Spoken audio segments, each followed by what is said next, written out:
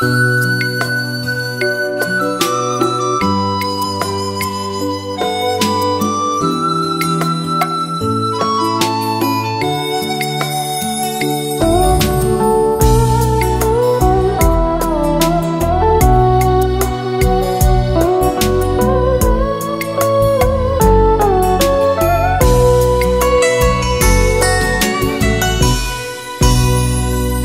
ngày ăn chay thế giới này mọi loài hát gian. Một ngày ăn chay, không con vật nào bị chết hoang. Một ngày ăn chay, ai cũng dây ngập tràn hí hoang. Hận thù tiêu tan, trái đất này tình độ nhân gian.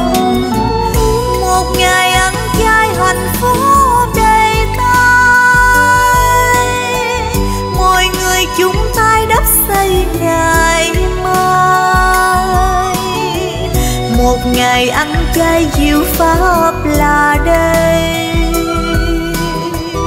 Ngồi nằm đi đứng hết còn mê say. Một ngày ăn chay không ai còn hại vật sát sanh làm lành vui thay mắt thương nhìn dạng loài chúng sinh.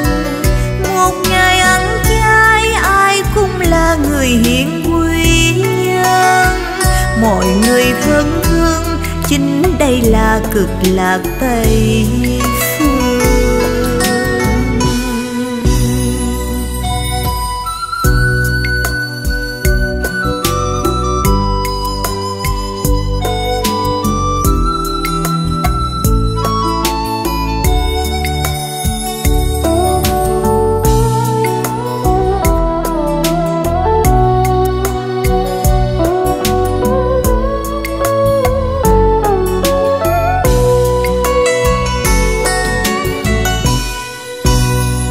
Một ngày ăn chay thế giới này mọi loài hát gian một ngày ăn chay không con vật nào bị chết quang một ngày ăn chay ai cũng dây ngập tràn hí hoan hận thù tiêu tan, trái đất này tình độ nhân gian.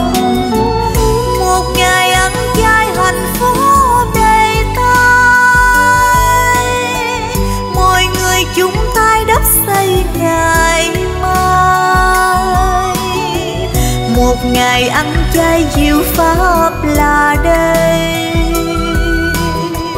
Ngồi nằm đi đứng hết còn mê say. Một ngày ăn chay không ai còn hại vật sát sanh. Làm lành vui thay mắt thương nhìn dạng loài chúng sinh. Một ngày người hiền quý nhân. Mọi người thân thương, chính đây là cực lạc tây phương. Một ngày ăn chay, ai cũng là người hiền quý nhân. Mọi người thân thương, chính đây là cực lạc tây phương